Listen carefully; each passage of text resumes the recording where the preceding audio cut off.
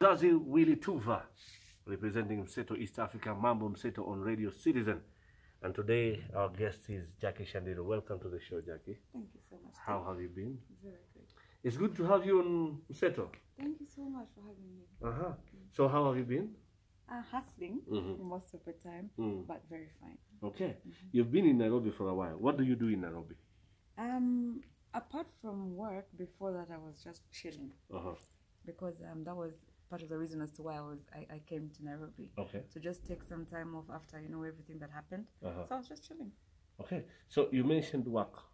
What are you doing? What work are you talking about? I am in studio. I am literally in and out of studio. I um intend this is is the, an album, for example, that I call Uh, okay is like a resurrection, for example, to me. uh-huh. Uh-huh. So I'm basically going to work with people that I believe musically Uh-huh. create timeless music, and so I, I I keep going to studio to try and figure out like to get the right sound sound Okay. out.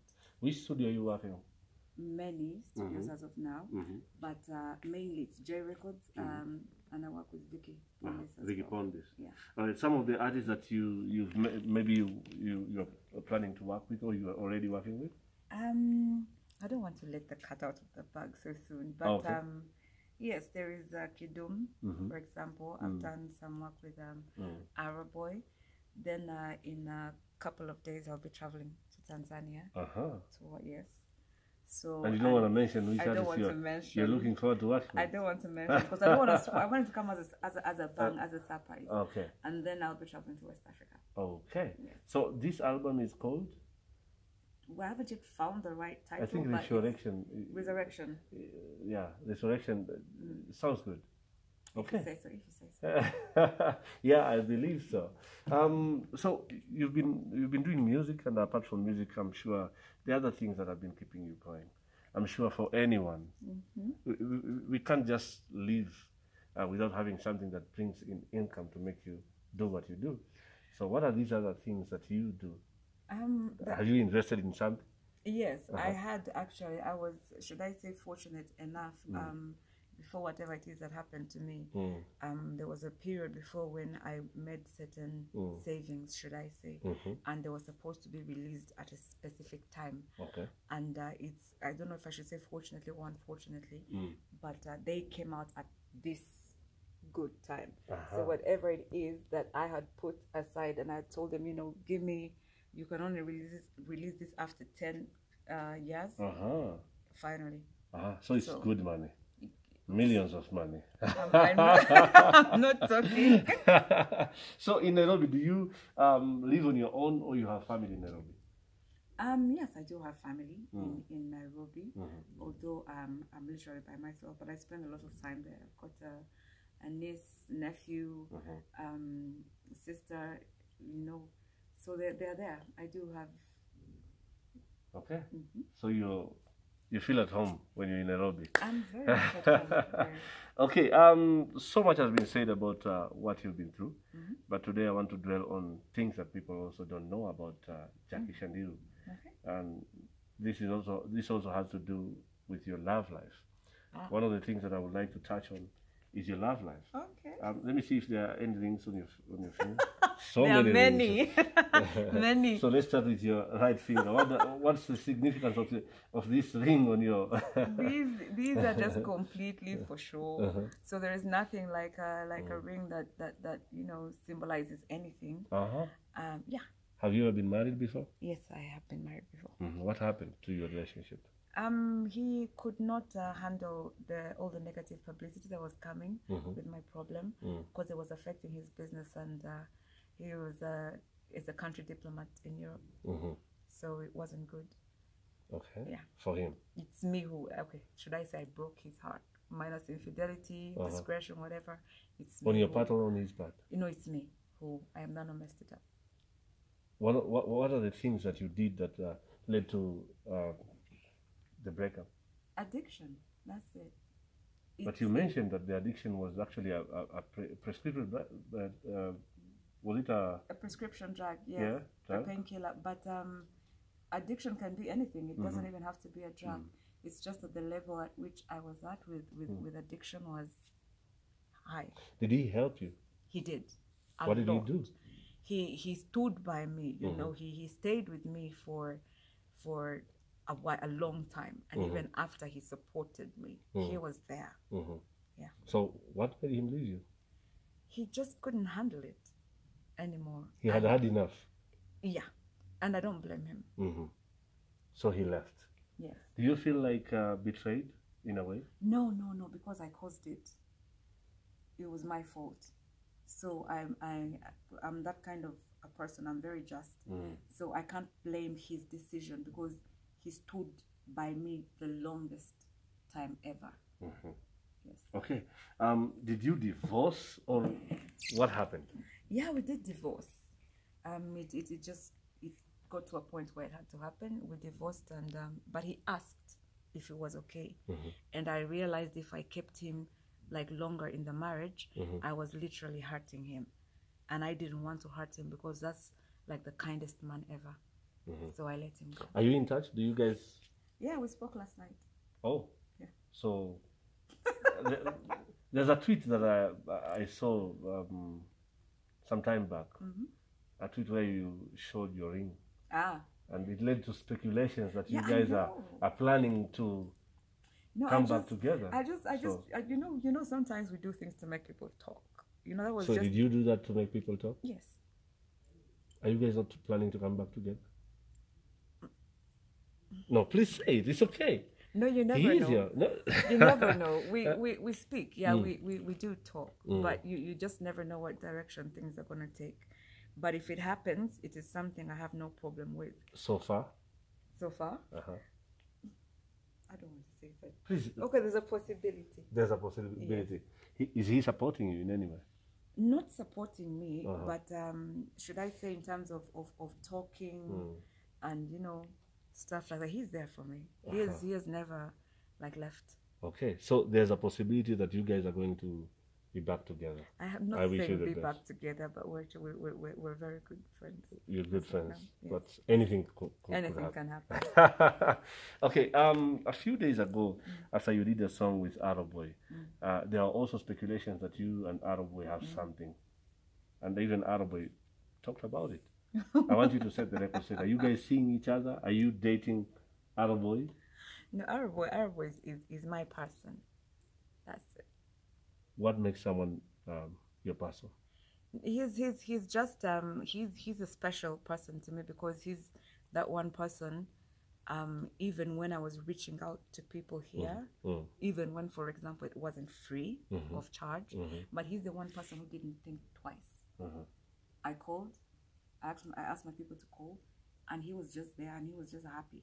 Uh-huh. So Arrow Bwoy just has a very special place, very special place. Is he your heart. boyfriend? That's the question. Are you guys dating? Like, is he your boyfriend? Uh, No just say- comment. No, there's nothing like no comment comment. on No, my show. no On comment. my show, What you no comment is a comment, on, on. and no comment has to No, come no. Uh, to bring No, out something. he's, he's he. I just he's just a special. What makes him special? He, I just, he's a nice person. I like him. He's I'm sure you've met so many nice people in in Nairobi. You really want an answer. What, what what makes him stand out from the rest? he's amazing. Mhm. He he he's amazing. He's um, and he actually does care Mhm. for me. How often do you see each other? Well, he's been very busy of late, but we do talk a lot on the phone. You talk a lot. Yes. Do you spend time together? I've told you he's been very busy. Are you intimate? oh God, I didn't know this was going to be hard. Are you intimate with that No. other boy? Mhm. Come on, but he said that you guys like. Hmm? You guys, actually, he said that you are his number one. I mean, he's the, that's what the song says. We But you, but you are not intimate. we're close. Eh, okay. Um, let's let, let, let's put that aside a mm-hmm. bit, and uh, maybe talk about other things, mm-hmm. especially talking about the Kenyan music industry. There are so mm-hmm. many um, artists who are doing so well in Kenya. Um, I wanted to mention a few that have caught your attention. Um, I know Otile. I know Bundox, KRG. I know Nadia Sanaipe. Um, Sailors. calligraph. Um, yeah. Okay. Just to make it What makes their music different?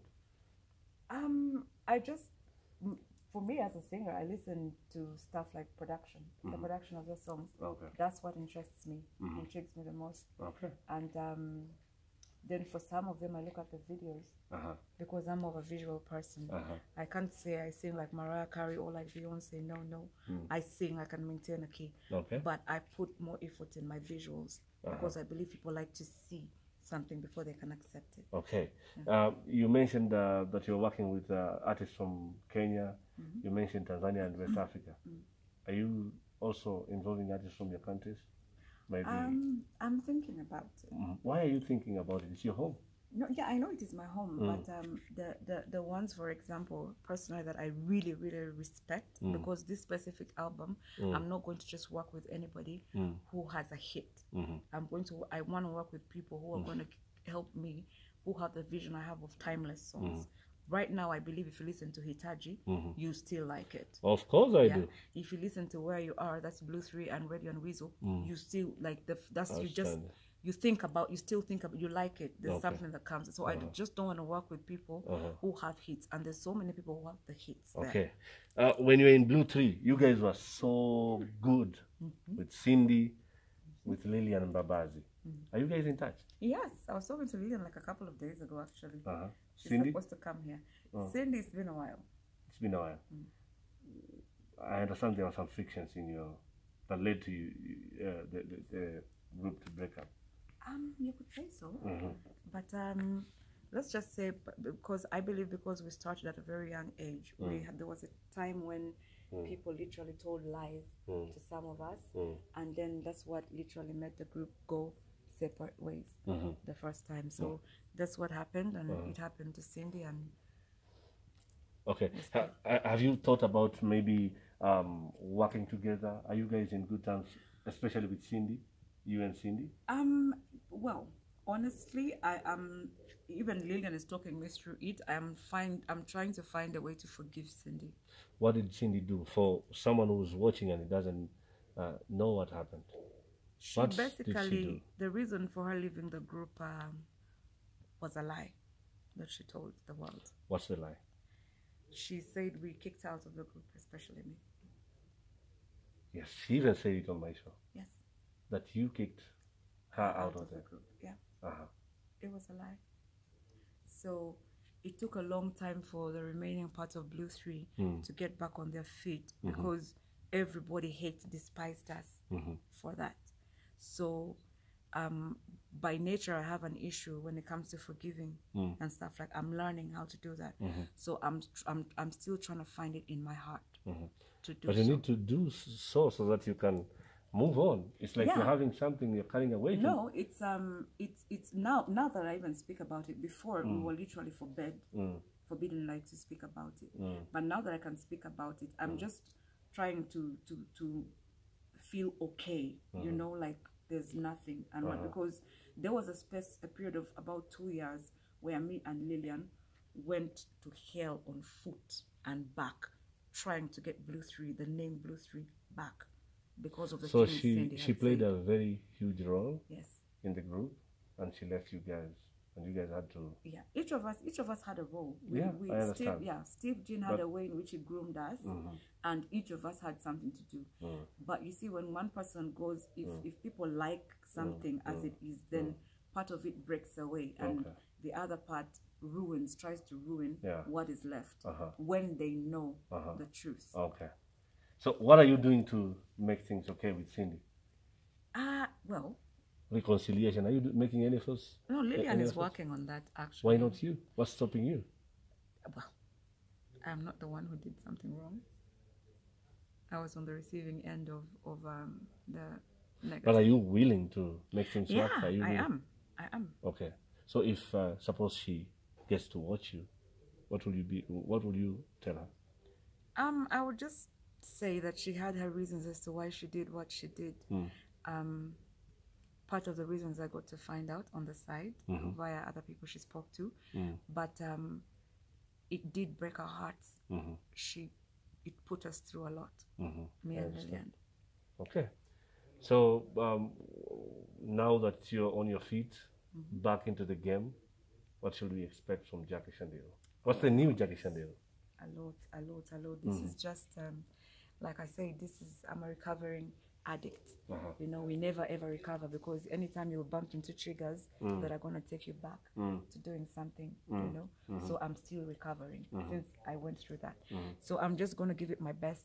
This specific album, I've put literally my everything. There's nights I spend in studio, even though I'm not a producer, but it's I just want to give that part of me that I had kept silent for three years.